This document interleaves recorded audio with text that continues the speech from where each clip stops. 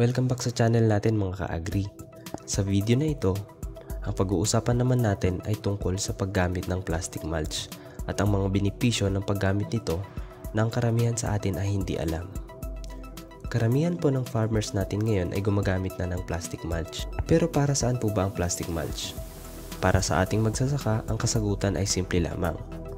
Para hindi damuhin ang tanim. Tama. Pero alam nyo ba na marami pang benepisyo ang paggamit ito? At yan ang iisa-isahin natin sa episode na ito. Una, kagaya ng alam ng karamihan, ang plastic mulch ay ginagamit upang makaiwas tayo sa damo. Ang mainit na temperatura sa loob ng mulch at ang kawalan ng sinag ng araw ang siyang nagiging dahilan ng pagkamatay ng damo.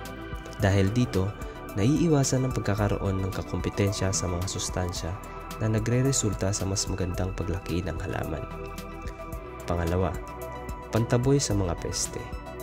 Ang silver na side ng plastic mulch ay nagsisilbing pantaboy ng mga insekto kagaya ng aphids na kadalasan ay nakapwesto sa ilalim ng halaman. Ang sikat ng araw ay nagre-reflect sa halaman na siyang nagtataboy sa mga peste.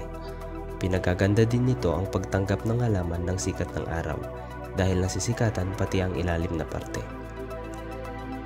Ang plastic mulch ay nakakatulong din upang makatipid tayo sa patubig. Ang paglalagay ng plastic mulch ay pumipigil sa mabilis na pagkatuyo ng lupa dahil sa evaporation. Maganda ito lalo na sa mga lugar na limitado ang source ng patubig o sa mga panahon ng tag-araw.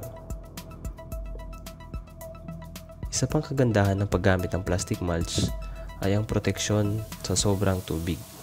Sa panahon naman ng tag-ulan, karaniwang problema ng mga magsasaka ang pagkalanta ng mga gulay dahil sa sobrang ulan, dahil walang kontrol ang pagpasok ng tubig sa lupa. Sa plastic mulch, limitado lamang ang nakakapasok na tubig sa halaman kaya makakaiwas ang mga magsasaka natin sa ganitong problema.